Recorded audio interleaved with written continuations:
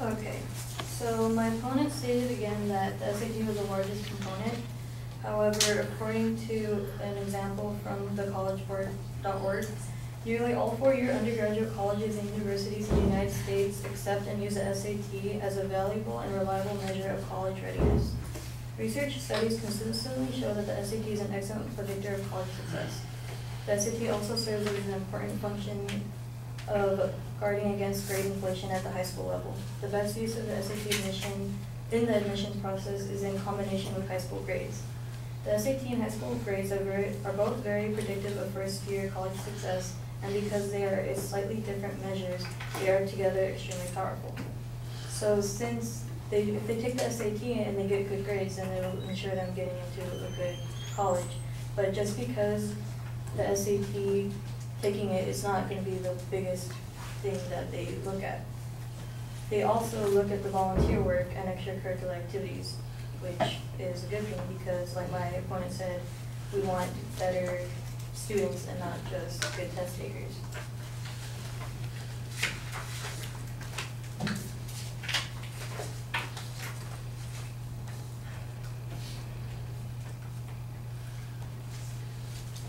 Um, like I said before, the SAT is not the sole basis for college admissions, and according to, um, the Duke website also that I had mentioned earlier, thirty years ago, the SAT and the student GPA were the primary criteria that college admission committees considered.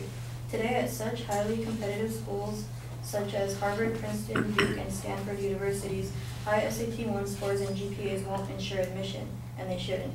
Admission committees now consider multiple um, factors and sources of evidence to support the student's application. While the SAT one score may be an obstacle to admission, it can be overcome with compelling evidence elsewhere in the student's portfolio. So if the student has better, if the student is, um, if the student volunteers and they're very active, then it'll ensure what, if they get into that college or not. Most colleges now, they realize that it's not good to just put emphasis on the SAT or just their grades, that they want to look at how well-rounded the individual is and look at what they have done and what the experience they have acquired during their high school years. And just because um, wealthy people can take prep classes doesn't mean that they will. And um, because they said that just by taking the prep classes, it'll help them with a couple, um, with like thirty points. But like my partner said, thirty points isn't a really big number compared to other people, other people's scores who didn't take those prep classes. And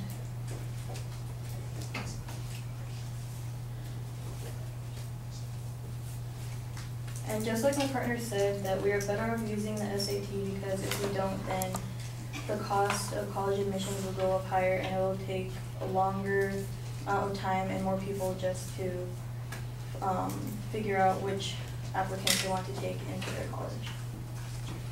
And also, like my partner said, where is the plan of action? They only attack the test, but they didn't say what they wanted to do to make it better or to resolve the matter. Thank you.